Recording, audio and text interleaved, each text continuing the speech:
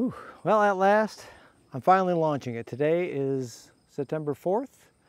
Uh, it's Memorial Day uh, 2023, and it is hotter than hell out here today. Hence the big hat and sunglasses and stuff. But uh, my wife's down here to help me launch this for the first time, as well as uh, give this boat a name. Uh, just step maybe right there and we can see you. so, uh, may God bless Wave Sweeper and all who sail in her. Additionally, uh, may Manannan Mac Lir, the Irish god of the sea, watch over her as uh, she is the namesake of his own magical boat that uh, is capable of self-navigating or some such wonder. So anyway, good luck to this fine ship and uh, let's hope this goes well today. Well, for her, for you, for me, and a little for Manannan. yeah, that was that was a big splash. Launch you. There we go. So, I'm not going to film the shoving in of it, but um, that's, that's what's next. Here's my green branch that I was supposed to have on when I launched it, apparently, due to whatever superstition. But uh, I grabbed it before I set sail, so we'll count it. Success! I made it in without tipping it over. Um, like I said, the winds were a bit fluky, but and to non-existent, which is exactly what I needed. I didn't really need the fluky part. I just needed the not very windy part. And uh, a couple times, like I said, it got up to be a little uh, exciting. But on the whole, it was a pretty relaxing thing. My technique is definitely shit.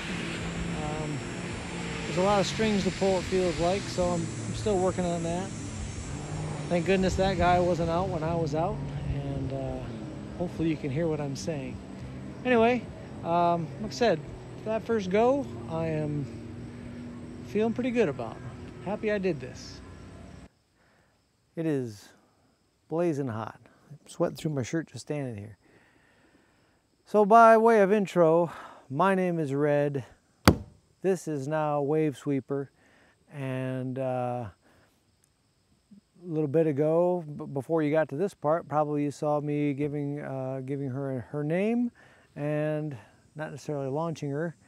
This old girl is a uh, 1973 Wayfarer is what it says on the paperwork.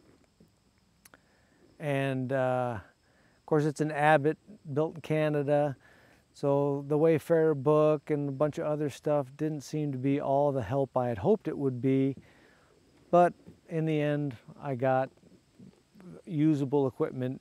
So up until this point, there's been quite a lot of this and that's that I had, to, um, I felt I wanted to do.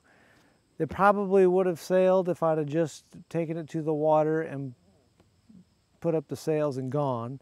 But like my shrouds weren't the same length. There was there was no mast step to speak of. There was just a number of things that didn't sit right with me. So I went about fixing those things. This this channel could probably be called "How Not to Wayfarer," but um, as you'll see in the in future videos, I I got to a point where today I could launch and sail. Was it perfect? About the only thing that didn't go exactly as planned was after I was done sailing, I went to put the mast down and uh, the, the rope didn't get away from me, but it I was on quite a hill and once the mast started going, it just kept going. It didn't fall like a thousand miles an hour or anything like that, but it was not really, it was sort of a controlled crash, let's put it that way. At this point, um, yeah, it's, it's all it's a it's a sailing boat now instead of just a boat that I own, and um, um, I'm pretty chuffed with with everything.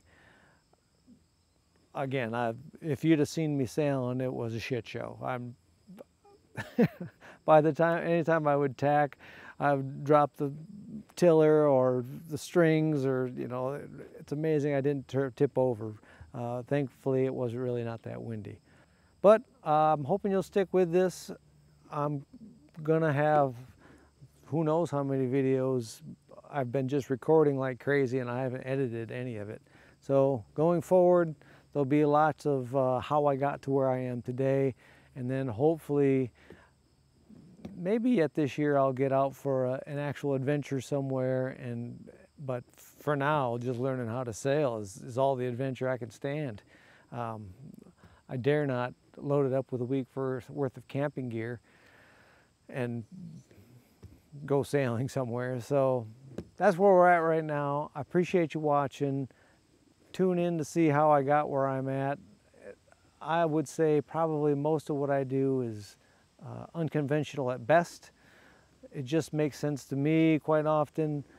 Appreciate you watching and um, hopefully you'll all stick with me and let me know what you think.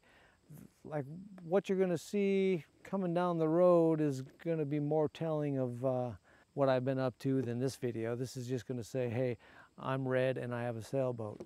So anyway, appreciate you watching and uh, good luck to you.